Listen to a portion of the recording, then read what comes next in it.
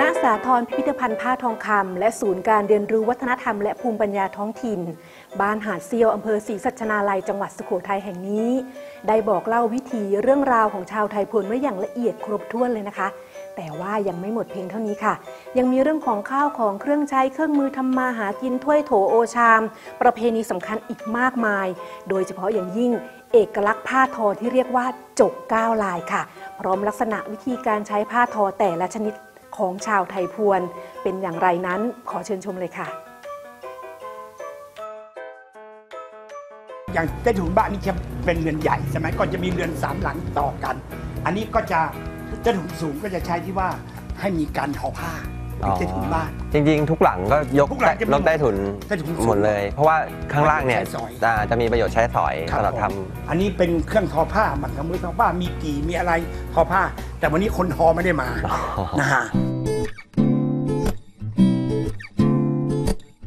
จากหลังที่เราทอผ้าเสร็จนะครับ หลังที่ 3 เกี่ยวกับอะไรครับอาอันจารนี้ย์ นี่จริงๆแล้วมันจะเป็นตัวบนเขาจะเป็นยุ้งข้าว อ่าแต่คเราบเอาใต้ถุนเนี่ยมา เอาไว้สำหรับเก็บเครื่องมือจับปูจับปลาเครื่องมือหาอ๋อปลาทั้งนั้นเลยในนี่ฮะเราจะจะมาเขียนติดเอาไว้เนี่ยฮะ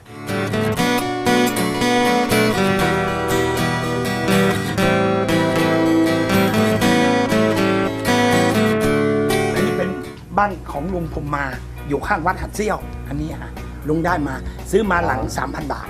แล้วก็จะลื้อเอามามาปลูกไว้ให้คนหัดเซี่ยวได้เห็น เพราะว่าตอนหลังๆนี่ทุกทุกทุกอย่างมันก็อย่างว่าเน้องลูกมีเงินมีทองกันหมด ทุกคนก็ลื้อลื้อแล้วก็บ้านเก่าก็ไม่เอา ลุงก็เลยเอาซื้อเอามาเก็บเอามาตั้ง ให้มันเป็นกิจลักษณะไว้นะฮะอันนี้ใช้เขาใช้สิวเจาะนะลูกหลังคาแต่ก่อนมันจะเป็นอากระดานเกล็ดอันนี้มันมันมันผุพังหมดลุงไม่ไม่รู้จะเอาอะไรก็เลยก็เอาเป็นเอาไม้ไผ่มามาใช้แทนคุณลุงครับ อันนี้เป็นสิ่งที่ผมสะดุดตามากๆเลยครับ ผมมันคืออะไรครับผม อันนี้จะเป็นผ้าสิ้นตีนเจาะลายนี้คือเป็นเอกลักษณ์ของชาวไทยพวนพายพวนมีทั้งหมดอยู่ อยู่อยู่เก้าลายเครือน้อยเครือการเครือใหญ่มนสิบหกสิบสองในจัดน้ำอ่างสองทองแปดขอสี่ขอจะเป็นของคุณแม่ทอแต่ได้ทอยังไม่เสร็จคุณแม่เสียชีวิต คุณแม่ของอาจารย์เลยคุณแม่อ่านี่แหละครับ อันนี้คือความเป็นมา ลุงก็รวบรวมไว้เท่าที่ลุงทำได้ลุงอืมอืมมันไม่ได้หวือหวาผมว่าเราไปต่อหลังต่อไปเลยครับผม ครับผมอะไปดูกันเลยครับ คุณลุงครับหลังต่อไปครับมีอะไรครับผมจริงๆแล้วลุงลุงก็รวบรวมเอาไว้คือว่าเครื่องใช้ไม้สอยภายในครัวเรือนอันเนี้ยกระบวยเขาเรียอ๋กอเบื่อยโหนี่เป็นภาษาพื้นเมืองนะภาครัษาบผพื้มนเมืองเขียนไว้หมดทุกอย่าง เพราะว่าตอนที่ท่านเสด็จนะท่านหญิงอารยาว่าสะทรให้เขียนทุกอย่างเป็นภาษาพวนอืมเพราะท่านจะมาเอาพวนท่านจะมาดูภาษาพวนนี่แหละฮะอย่างเงี้ยเขาเรียกกระซ้ออ่าฮะกระซ้อนี่มันจะอยู่แต่ในทุ่งนานะลูกไว้ทำอะไรครับผมพอไปถึงทุ่งนาปั๊บ เดี๋ยวมุดน้องสะพายห่อข้าวไปครับห่อข้าวไปกันมด มดมันจะได้กินอาหาร มันจะมากินอ๋อ เราเอาเราเอาเราเอานี่มาแขวนเลย นี่เอาใส่น้ำในน้ำ มดลงมาก็มาเจอน้ำไม่ได้อ๋อ ครับ เพราะอันนี้ม้าซอยยา สมัยก่อนยาสูบเขาใช้กันเองอะลูกม้าซอยยา ม้าซอยยาคือใช้ใช้ซอยใช้ซอยยาสูบ ซอยยาสูบอย่างเงี้ยลูกอืม คือมันก็เป็นวิถีชีวิตชาวไทยพวนที่เรียบง่าย เราก็จะได้เรียนรู้วัฒนธรรมจากข้าวของเครื่องใช้ด้วยครับ อาจารย์ครับเรามาถึงหลังสุดท้ายกันดีกว่าครับผมหลังนี้เก็บอะไรครับ อันนี้มันก็จะเป็นพวกถ้วยโถโอชามพวกไหเขาก็จะเอาใส่เกลือ ใส่ปลาร้าใส่อะไรเนี่ยอ๋อ คือปากมันจะเล็กเขาจะใช้มัดเสร็จแล้วอันเนี้ยเขาจะใช้ผ้ามัดตอนนี้ทำเอาทำปลาร้ามันมันจะมีกลิ่นเหม็น อ่า มันจะมีอะไรเขาเอามัดคือมันกันได้หน่อย แล้วก็จะใช้ปูนทาตรงนั้นแหละคือเพื่อไม่ให้แมลงวันไปตออ๋มอให้มันแน่น ให้มีนะหนอนให้มันแน่น แล้วทำไมอาจารย์ถึงคิดริเริ่มจะสะสมของพวกนี้ครับผม ครับจริง ๆ แล้วเราเป็นคนไทยพวนมาเซี่ยว เอาอนุรักษ์มาให้เด็กรุ่นหลังได้เห็น อืมให้ได้ศึกษาได้กันศึกษาความรู้ความเป็นมาของชาวไทยพวน เพราะว่าพวกวัตถุโบราณเนี่ยมันบอกเล่าถึงยุคสมัยของมันนะครับอะใช่ ว่ามันผ่านอะไรมาบ้าง มันมีวิถีชีวิต มีวัฒนธรรมอะไรบ้างนะครับ ครับผม แล้วฉันจะพาเธอออกไปด้วยกัน ให้ได้รู้ได้พบแล้วฉันจะพาเธอออกไปด้วยกัน ให้ได้รู้ได้พบและที่นี่นะครับก็เป็นอีกหนึ่งจุดสำคัญนะครับ ที่รวบรวมประวัติความเป็นมาของชาวไทยพวนใช่ไหมครับ ที่ครับเห็นผมอยู่ข้างในนี่เป็นพระพานทำรับเสด็จพระเทพอ๋อท่านอยู่ในนี้เดี๋ยวให้อาจารย์พาครับเข้าไปข้างในดูเลยแล้วคเรารับ ก็ทำประวัติทุกอย่าง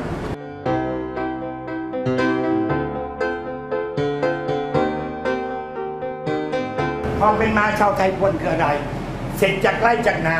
หญิงทอผ้าชายตีเหล็กอ๋อ มันก็จะมีเรื่องเล่าอย่างเงี้ยอยู่อย่างอย่างนี้ก็คือบอกเล่าถึงวิถีชีวิตวิถีของชาวไทยพวน ชาวไทยพวนนะครับ แล้วอย่างที่เห็นข้างหลังครับอาจารย์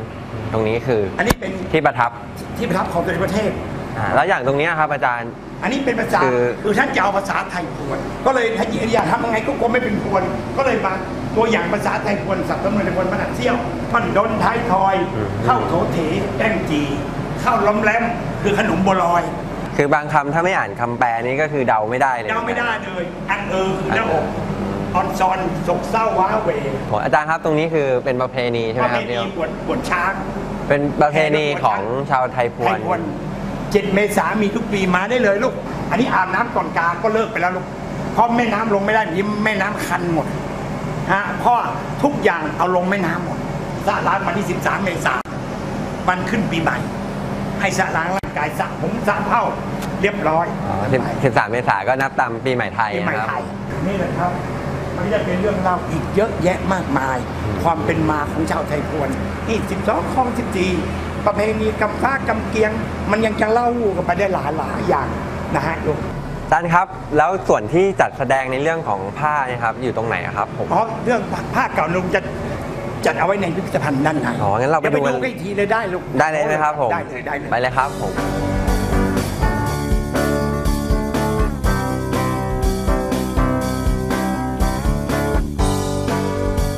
ครับ อันนี้จริง ๆ แล้วนี่จะเป็น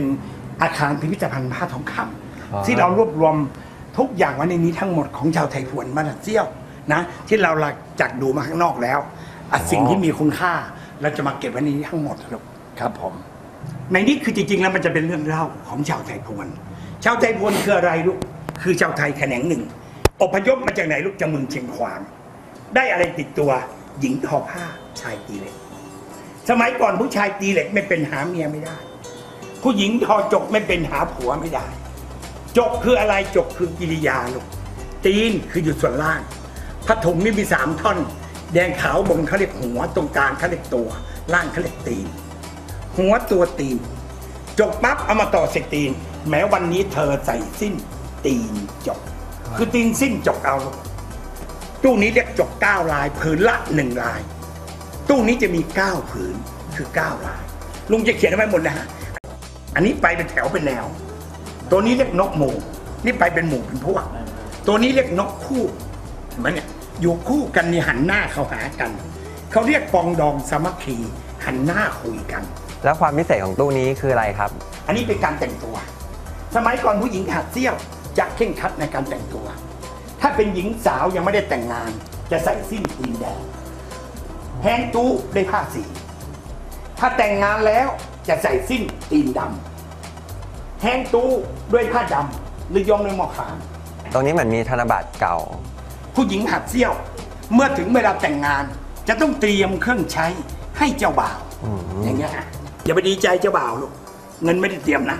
ครับผ้าอย่างเดียวผ้าห่มผ้าขิดผ้าขาวม้าถุงย่ำแดงผ้าเช็ดหน้า ผู้หญิงคนนี้สามารถทอผ้าให้สามีนุ่งสามีห่มฉันก็แต่งงานได้ ผู้ชายเตรียมกลางหรือหีบใส่เสื้อผ้าพ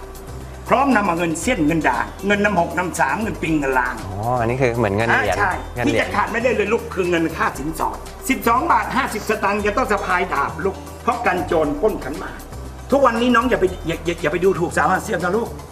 ถ้าลิจะมาจีบต้องให้รู้นะเพราะค่าสินสอดขึ้นแล้วนะ42 บาท 50 แล้วทุกวันนี้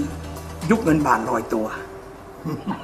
ซึ่งทองผืนนี้อันนี้ได้มาจากราชสำนักเชิงตุงเมียนมา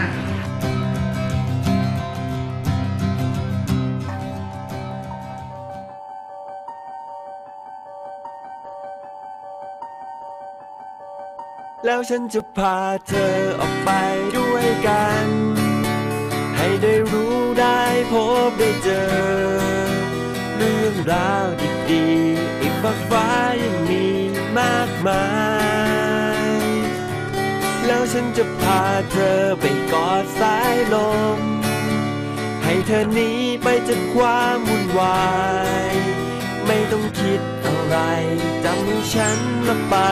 ด้วยกัน